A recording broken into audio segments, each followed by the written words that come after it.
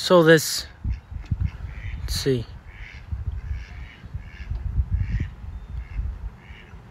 Have some beef in the pond. A freaking wild Drake Mallard just flew into the pond. And Larry and Leroy are chasing him off to protect their girl. Bertha. Look at this. This is freaking protect. Look at that. A dominance.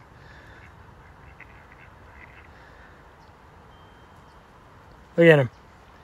Chase that duck. Freaking. I think that's Larry. Oh, yeah. Showing dominance, dude.